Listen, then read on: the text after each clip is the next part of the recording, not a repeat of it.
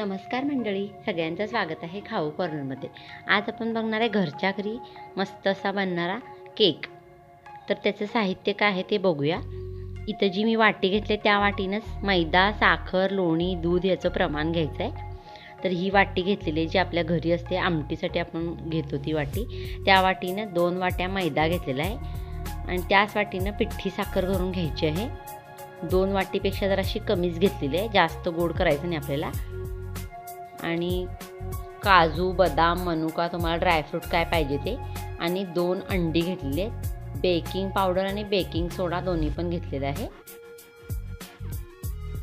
आणि vanilla essence घेतलेला आहे. तुम्हाला कुठलं एसेन्स आवडते ते तुम्ही घेऊ शकता. आता इथे पिठी साखर घेतलेली आहे. त्या साखरेमध्ये लोणी घालणार आहे. एक वाटीच लोणी घेतलेलं आहे. दोन वाटी मैद्यासाठी एक वाटी लोणी भरपूर होते आणि मस्त होतं त्याच्यानं. आता हे दोन्ही फेटून घ्यायचं आपल्याला चांगलं.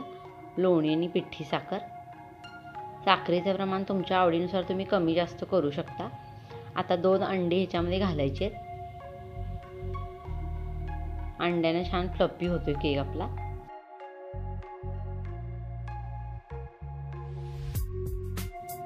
आता हे अंडं घालून चांगलं फेटून घेते मी.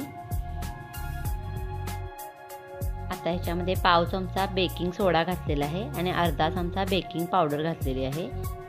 सगळं मिक्स करून घेतलेलं आहे. आणि दोन वाटी जो मैदा आपण चाळून घेतला होता तो आता ह्या मिश्रणामध्ये टाकलेला आहे. आणि कट अँड फोल्ड या मेथडनं आपण हे मिक्स करून घ्यायचं आहे सारखं असं जोरजोरात फिरवायचं नाही आहे गोल फिरवायचं आणि मधून असं हे करायचं आहे आता एक चमचा त्याच्यामध्ये व्हॅनिला एसेन्स घातलेला आहे. आणि मिक्स करून घेतलेलं आहे. आणि लास्ट पॉईंटला दूध घातलेलं आहे. दूध घालून पण सगळं मिक्स करून घ्यायचं आहे. एक वाटी दूध घेतलेलं आहे. एवढं अगदी करेक्ट होतो आहे ह्या केकला आता टुटी फ्रुटी काय असेल ती घातलेली आहे सगळी. आणि परत एकदा मिक्स करून घेतलेलं आहे. आणि एक वेगळ्या पद्धतीचं बेकिंगचं भांडं आहे. त्याच्यामध्ये आपण हा केक करणार आहे. तर त्या भांड्याला पहिला तूप लावून मैदा जरासा भरभरून घेतलेलं आहे. आणि हे सगळं मिश्रण आहे. ते या भांड्यामध्ये घालून घ्यायचं आहे आणि कोळशांवर आम्ही हा भाजून घेणार आहे. वरून थोडं टुटी फ्रुटी वगैरे घातलेलं आहे. तर इथेही वेगळ्या पद्धतीची शेगडी पेटवून घेतलेली आहे. कोळशे चांगले लालबुंद झालेले आहेत. त्याचं एक स्टँड आहे. केकच्या भांड्याचं ते ठेवले त्याच्यामध्ये वाळू घालून.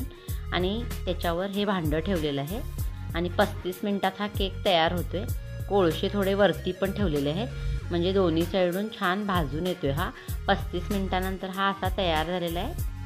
मस्त असा फ्लप्पी छान तयार होतोय केक खायला पण छान होतोय टेस्टला अगदी. तर तुम्ही अशा पद्धतीनं करून बघा. व्हिडिओ जर आवडला तर लाईक शेअर करा. चॅनलला सबस्क्राईब करा. व्हिडिओ बघितल्याबद्दल थँक्यू आणि अशा कोळशांवर भाजलेला केक हा मस्त होतो टेस्टला जर तुम्हाला असं कोळशांवर भाजायचं नसेल किंवा कोळशी आणि शेगडी नसेल तर तुम्ही कुकरमध्ये पण करू शकता. कुकरमध्ये अर्धा इंच मीठ घालायचं मोठं आणि त्याच्यावर एक स्टँड ठेवायचा आपला. आणि त्याच्यावर जे भांड्यात मिश्रण केलं होतं ते घालायचं आणि पस्तीस ते चाळीस मिनिटं आपण हा केक भाजून घ्यायचा. अशा पद्धतीनं पण छान होते करून बघा.